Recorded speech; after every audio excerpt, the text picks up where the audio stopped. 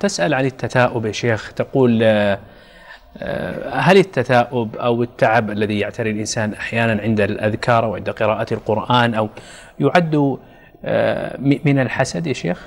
أم هو أمر عادي؟ الحمد لله رب العالمين وأصلي وأسلم على نبينا محمد وعلى آله وأصحابه أجمعين أما بعد. التثاؤب هو نوع من الثقل يصيب الإنسان. إما لقلة النوم أو للإرهاق أو لغير ذلك من الأسباب.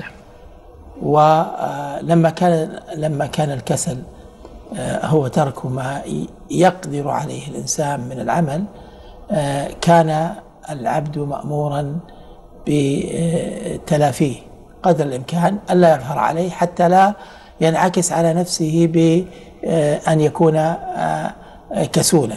فإن النبي صلى الله عليه وسلم مما ثبت عنه أنه كان يستعيذ بالله من الكسل. فمن ذلك قوله صلى الله عليه وسلم اللهم إني أعوذ بك من الهم والحزن وأعوذ بك من العجز والكسل وأعوذ بك من الجبن والبخل وأعوذ بك من ضلع الدين وقهر الرجال.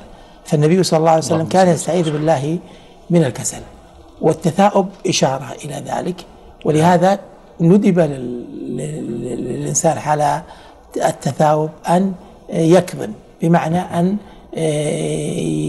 لا يفتح فمه استجابة لهذا العارض الذي ينتج عن الكسل أو عن الخمول أو عن ما إلى ذلك من من العوارض التي تسبب التثاؤب. فيكظم ولهذا قال صلى الله عليه وسلم إذا تضاء إذا تثاءب أحدكم فليكتم في رواية فليكظم آه، ما استطاع بمعنى ان أن يقاوم انفتاح فمه ما استطاع. وقد قال العلماء إن أيسر سبيل لتحقيق هذا الأمر هو أن يعض على شفته السفلى. هكذا. تضا- عض عض على شفة أمسك نعم. فكه الأس- الأسفل من ي- يرتخي بسبب التثاؤب فيدفع عنه التثاؤب هذا مفيد مفيد من حيث إنه آه، اولا آه، يغيظ الشيطان والشيطان يفرح ويسر عندما يرى الإنسان آه، من يرى من الإنسان الكسل فإن ولذلك قال النبي صلى الله عليه وسلم فإن الشيطان يضحك منه. يعني إذا تثاءب ضحك منه سرورا بحاله نعم. التي هي العجز التي وال- التي هي الكسل الذي هو من دعاته ومن آه، روادة ومن محبيه لأنه يوصله إلى ما يريد من ترك الإنسان ما ينفعه ويصلحه.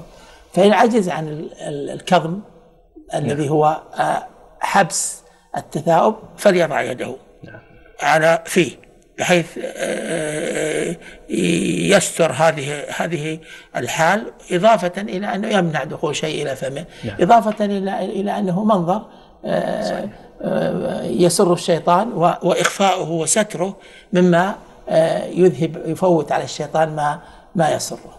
ولهذا من المشروع أن يضع يده على فمه. وأنا أقول لإخواني وأخواتي نحن ينبغي أن نربي أنفسنا على هذا. والإنسان إذا انتبه وتع... نعم. و- واعتاد تعود أصبحت سجية عنده كل ما جاء تثاؤب إما كظم بهذه الطريقة وإما آه، وضع يده على فيه. ف وكذلك أبناءنا وبناتنا يعودون على ذلك. ومن آه، عود على خير اعتاده وصار له سجية. فالعادات تكتسب بالتمرين والتدريب.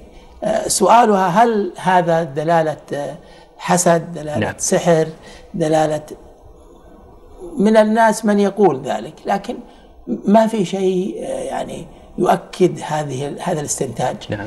آه، أو يؤكد هذه النتيجة وأنه كثرة التثاؤب تدل على كذا لكن كثرة التثاؤب من الشيطان بالتأكيد انها من الشيطان ولذلك يوصي آه، يوصى من يكثر تثاؤبه ان يكثر من الاستعاذة بالله عز وجل ويذهب عنه الحال التي يكثر فيها هذا التثاؤب حتى لا يتمكن منه الشيطان أعاذنا الله وإياكم من آمين. شره وكيده آمين. آمين. وأن يحضرنا في في سائر شأننا اللهم آمين أحسن الله إليكم يا شيخ